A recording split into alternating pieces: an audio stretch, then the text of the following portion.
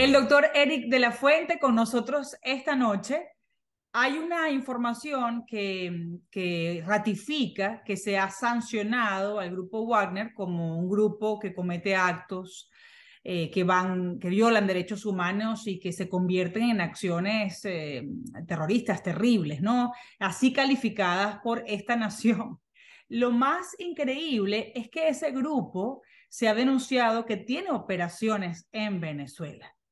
Entonces, quiero, quiero saber cómo se entiende que el grupo esté en la lista negra y que el régimen de Maduro que colabora con esos grupos no tenga una calificación tan grave como esa, sino más bien ahora acercamientos, negociaciones. El grupo Wagner no solo tiene presencia en Venezuela, el grupo Wagner tiene el rol principal en Venezuela y lo tiene hace muchos años. No, el grupo Wagner no es nuevo a Venezuela, lleva ya muchos años en Venezuela y es la, la cabeza de la lanza de la presencia rusa en Venezuela uh, y inclusive muy vinculado a la figura, de, inclusive la protección de Maduro también, ¿no? Entonces, no, por un lado eh, está eso, uh, yo creo que el, grupo Wagner, uh, y por otro lado también ver los intereses rusos, ¿no? En ese tipo de cosas que, que tienen ahí, pero el grupo Wagner realmente que es un grupo mercenario, pero este, en este caso es un grupo mercenario para tener bien claro que responde al Kremlin, ¿no? Uh, uh -huh. Pero tiene ciertas libertades que hay, pero eh, el, el, el, el, grupo Wagner, eh, de cierta manera, ha sido como, eh, y, y, por eso esto, como actúa en Ucrania, es importante, ha sido de cierta manera para Venezuela, es como una, una compañía de seguro, ¿no? Uh -huh. uh, básicamente, lo que Rusia le extrae a Venezuela como negocio es como cobrando un seguro de que, de, estar, de que el régimen de Maduro esté protegido militarmente si llega a una situación complicada. Y eso lo han hecho en otras partes también, no solo en Venezuela. ¿no? El grupo Wagner actúa mucho en África también, en ciertos regímenes, entrena, entrena en tácticas, tácticas militares, de tortura, de interrogación, de una serie de cosas. Y como tú dices, están sancionados porque se ha visto lo que ha hecho en Ucrania. Esto es lo que pasa en la guerra de, de, de, de, Ucrania afecta a Venezuela, porque el rol de Rusia con Venezuela tiene mucho que ver con esta protección del régimen. Entonces, mm. una Rusia que salga, que salga victoriosa ni hablar, porque entonces reafirma que la relación con Rusia es beneficiosa, si al final se sale con la suya.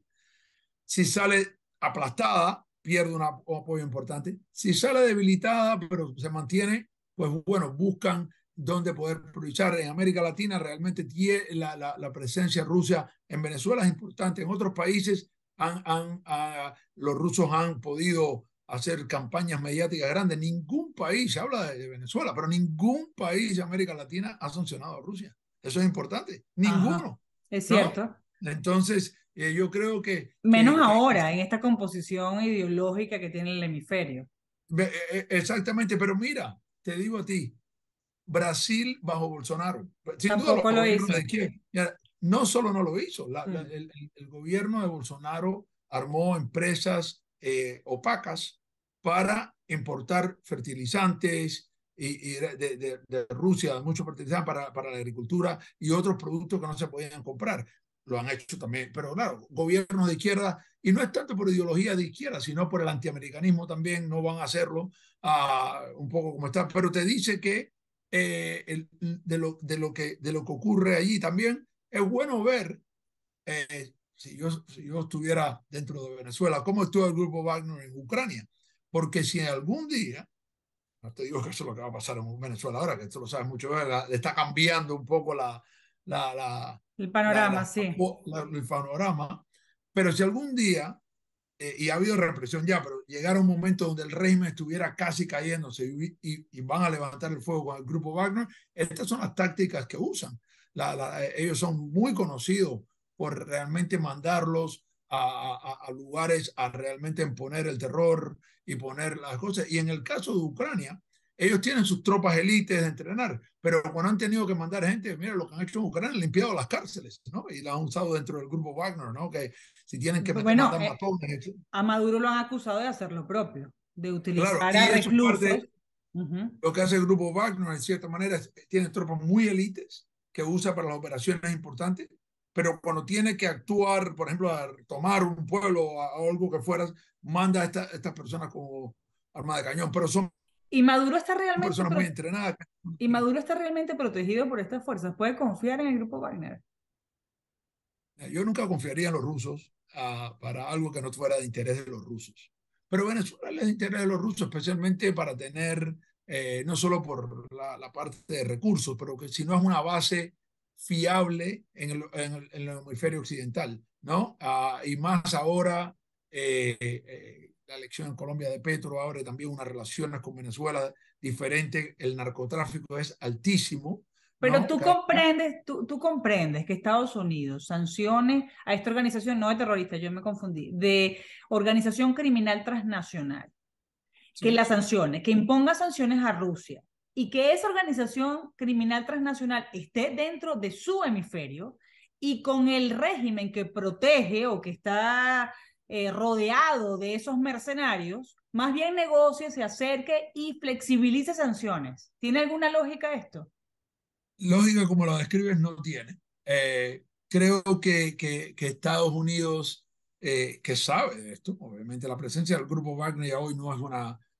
No, y, obviamente los servicios de inteligencia saben mucho más. Eh, es, es, importante, pero creo que, que, que pr primero la, la, idea de que Venezuela eh, va a ser un proveedor fiable de, de, de energía, eh, porque a Rusia para, para suplir, me parece bastante tonto en el sentido, eh, para decir tonto, en el sentido de que Venezuela claramente es un aliado de Rusia.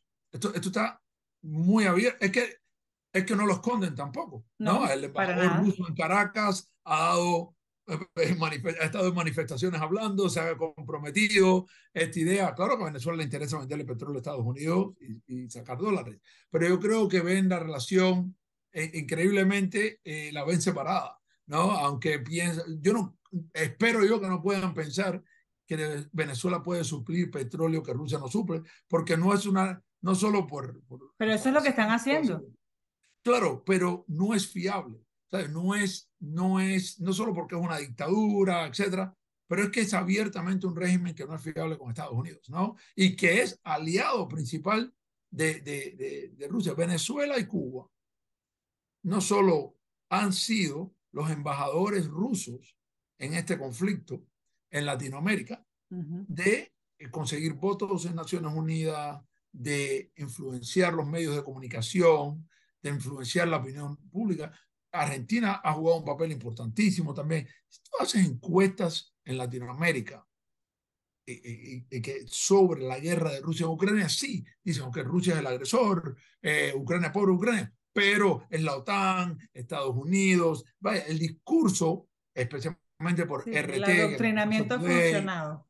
Ya está eso. Y Venezuela y Cuba han sido lo, lo, eh, realmente lo, la, la, punta de lanza de la opinión pública okay. y también lo son cada vez que tú ves los votos en, en organismos internacionales y, y, de que ningún país haya dicho voy a sancionar a, a, a Rusia. Lo que te dice es que están claros y confiados que Estados Unidos, América Latina lo ve como diferente en esto, ¿no? Uh -huh. Sí, a lo mejor en la retórica no, pero no es que, oye, si no estás con nosotros en esta, en esta situación que es global, okay. lo ven como, eh, eh, eh, ¿sabes? No, no a lo mejor lo más importante, y te dice que la Estados Unidos, lo que viene siendo hace como 20 años, uh -huh. que América Latina ha dejado de ser una prioridad y por eso ve la presencia No, de ya China, está clarísimo, clarísimo. Y, oye, y, y, y, y, yo creo que la, la Casa Blanca comete un error pensando que eh, la, la, el, el, gobierno de Caracas, de alguna manera pragmática, como ustedes de poner, o algo puede ser uh -huh. a largo plazo un tema. Ahora,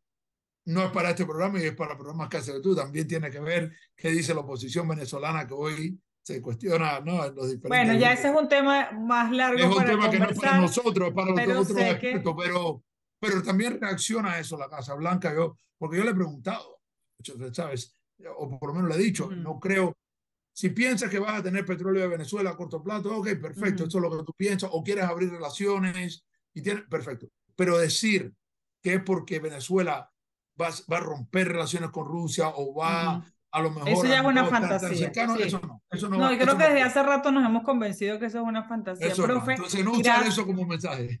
Te agradezco siempre que estés con nosotros en el espacio. Sé que tienes que irte, así que Eh, no te quito más tiempo, pero siempre es un placer tenerte con nosotros aquí en EBTV Miami. Muchas gracias. El doctor Eris de la Fuente con nosotros esta noche. Regreso ya el lunes para contarles mucho más de lo que ha pasado en el mundo y por supuesto en nuestra amadísima Venezuela. Así les digo, chao mundo. Este programa fue presentado por... Eres perfecta de pies a cabeza. A cualquier hora del día yo te veo así. Eres perfecta de naturaleza. Aramazonas Motors, tu primer carro en los Estados Unidos.